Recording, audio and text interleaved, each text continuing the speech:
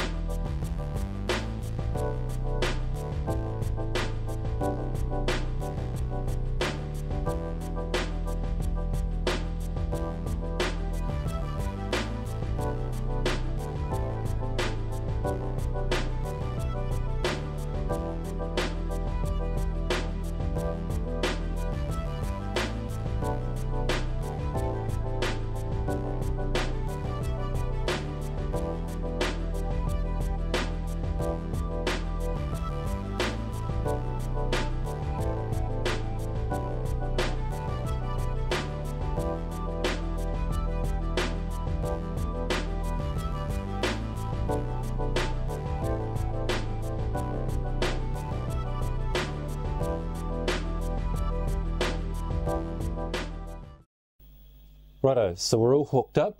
Uh, everything's here. Now, make no mistake, that is 240 volts AC just sitting there. So, yes, I'm being very careful. Uh, but we do have an LED on, so that's a good start. All right, let's see how we go. Aha! We have life. It says ready. Righto. Okay, that's something. So now that we know it actually works, we kind of need to put it in something because, well, this isn't very safe, obviously, but also it's not very neat either. So I found a Jiffy box, a fairly standard large size one. I'll put the dimensions uh, at Jaycar. But the thing is with this, is this PCB is actually designed to go into the TRS-80 expansion box. And it's actually got enough grunt to run both the, the TRS-80 and the expansion box. But I don't have one of those. So I need to come up with a way of neatly mounting this and then also putting it in a box. So I designed this. This is just a 3D printed frame. And the idea is that this kind of sits in there like that. It locks down with these uh, couple of bits here, uh, and then it goes in the box. So what we need to do is this needs to be super glued into there like that. So let's start by doing that bit.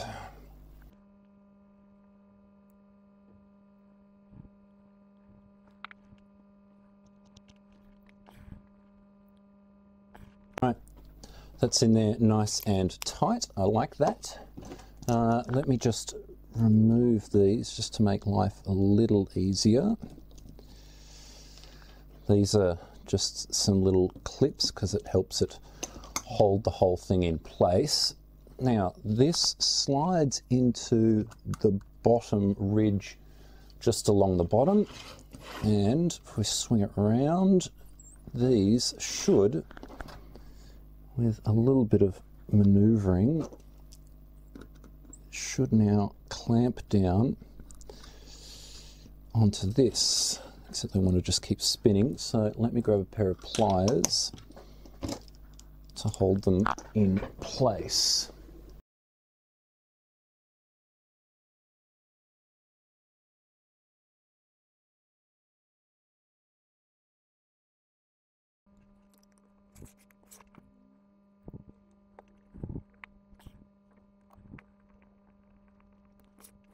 All right, that's better. That needs to go to that edge there because it was actually pushing up against the side of the transformers. Right, so as you've probably guessed, I've actually pulled the LED and disconnected the uh, mains wire because this obviously now it goes on there like that, but we need some holes for power, a power switch, and an LED. Now I've already, oh come on, I've already marked some out. I don't know if you can see it because it's done in pencil, but uh, we've got um, the power out, we've got LED, and we've got switch, which is actually switch to mains, uh, and we've got the actual mains in. Now, um, that's a 12 mil hole, that I think is a 6 mil hole, and the power in and power out uh, 10 mil holes, and I'm going to put because I'm going to put some grommets in. So let's get started with that. We're obviously going to start with some uh, pilot holes.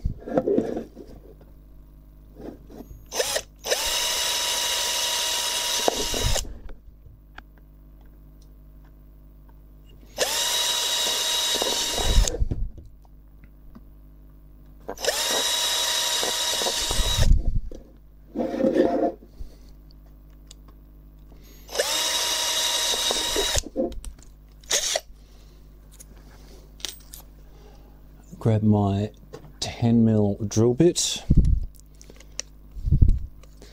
Actually, I think I might go one size. I might go up to a, a 6 mil and then drill the 10 mil ones.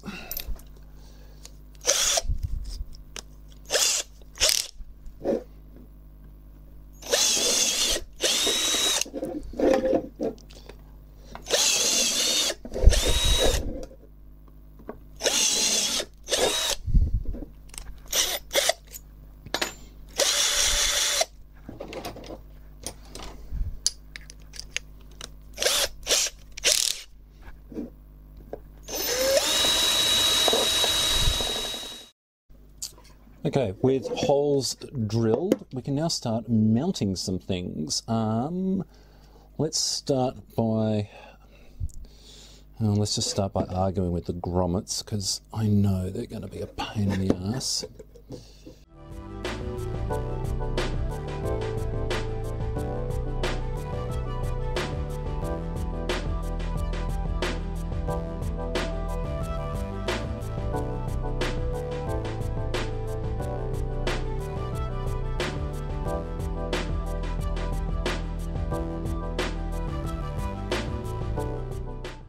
Grommets wrestled in.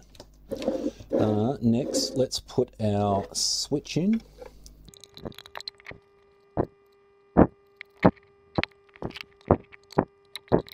And finally, our LED.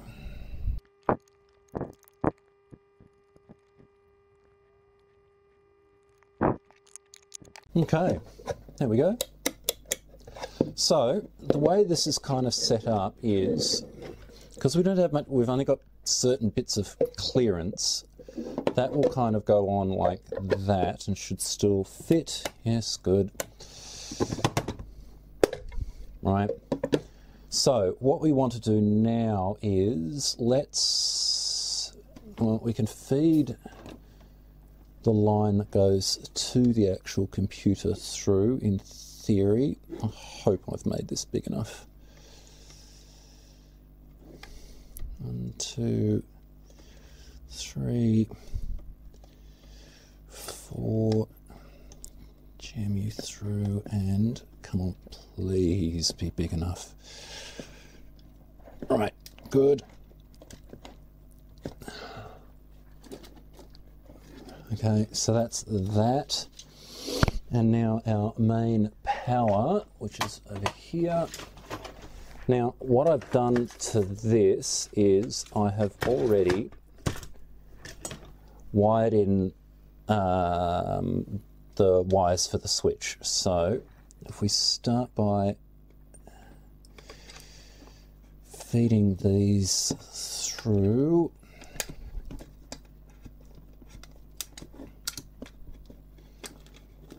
Then we get to this. There's a bit of a join, and hopefully I can get that. Yes, good.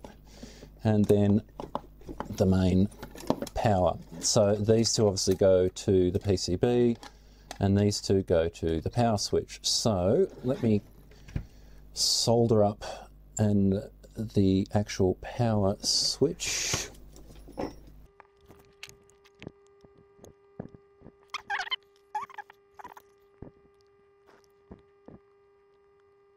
Right, that's in. So, what we should be able to do now is position this in such a way that, let's just get those out of the way. I should now be able to solder these back to the PCB again.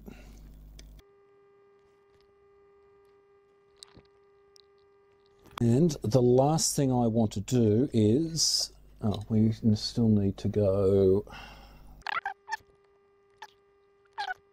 And just for some safety's sake, these are massively too long, but they're nice and thick. I'm going to add some strain relief, zip tie style strain relief on the inside of these cables. So I want that on there fairly tight and then we just snip off the massive amount of excess.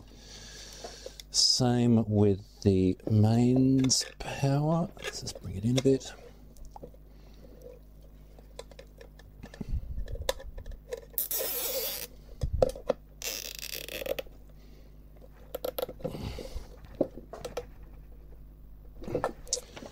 Because zip ties solve all.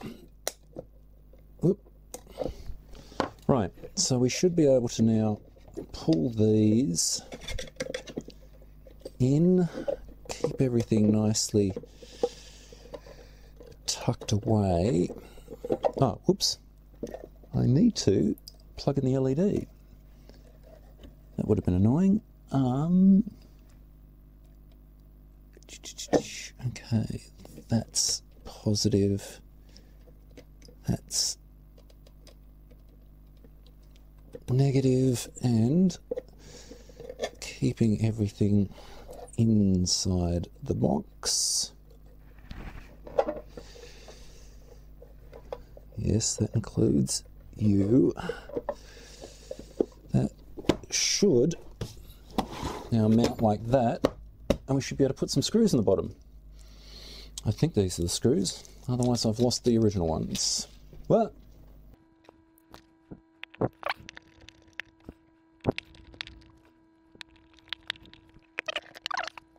And just for a finishing touch on the bottom, let's put some feet on it. Even though I've already managed to scratch up the bottom pretty well already in the process of making this.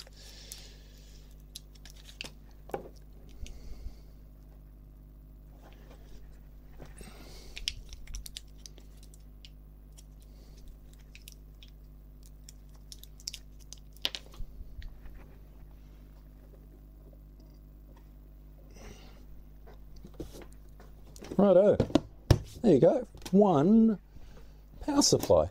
They actually turned out pretty decent. I'm pretty happy with that. Now, the big trick is, let me plug it in somewhere.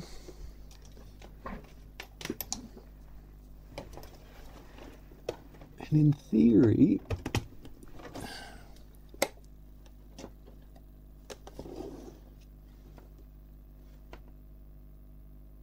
Okay, LED slowly going out and on. Nice.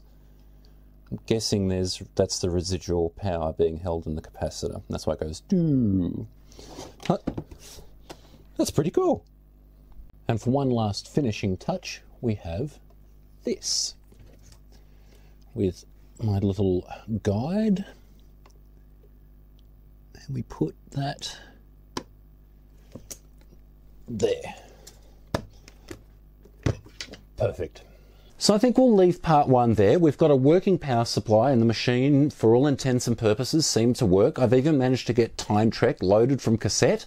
Um, the next thing we're going to tackle in part two is going to be the keyboard. I've still got a bunch of stuck keys and um, the ribbon cable and stuff is still a bit uh, a bit iffy. So uh, we'll tackle that in part two. But for now, thanks for watching.